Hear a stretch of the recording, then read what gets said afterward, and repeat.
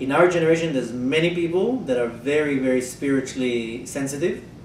Uh, I wouldn't say they're all mekubalim, but there are people in our generation that are like, you know, that they'll look at you, they'll know everything about you.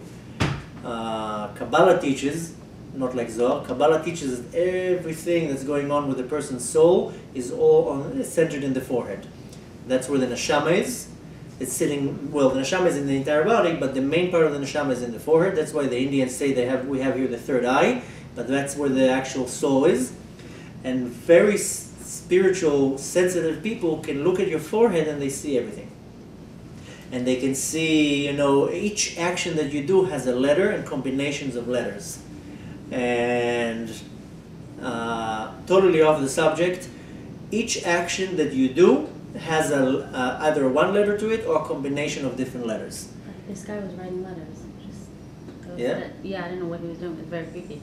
Yeah. Okay. so no, what I mean is that let's say, for example, you do each, each mitzvah that you do has a combination of letters. I don't know if I don't know if you ever one of you opened the mezuzah, completely opened the cloth, the parchment. In the back, there's different combinations of letters. That's how you really know that's a real kosher mezuzah.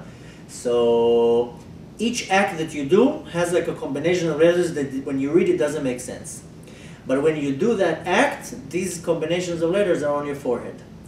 So every time you do a mitzvah, so the mitzvah takes you a second, a minute, two minutes, whatever, that combination of letters are, are on your forehead for that amount of time that you're in the mitzvah. So you're putting tefillin on, it's an hour, you have the letters here. You're doing, I don't know, uh, you're benching, you have these combinations of letters. The, but once you've done that mitzvah, then those, those letters disappear. And it says, it's totally off the subject, but it says, you know, on tzedakah, it's, there's a pasuk in Tehillim that says, "Tzidkatom ta'amod la'ad," that his righteousness will stand forever. The mitzvah of tzedakah, when you do it, the letter stays the whole entire week. So if you give now a quarter, that letter that of that specific mitzvah, which is a tzaddik, stays on your forehead for an entire week.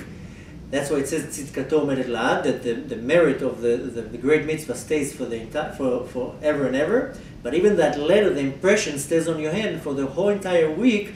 Your, your let's call it in the language of the goyim, your aura is shining that specific letter. So every act that we do, sometimes you do a very big act of kindness. You'll walk into work or whatever. People look at you, wow, you look great. What do you did something with your hair? No, I didn't do anything. I just did a big mitzvah. And people, some people look at it. They see it.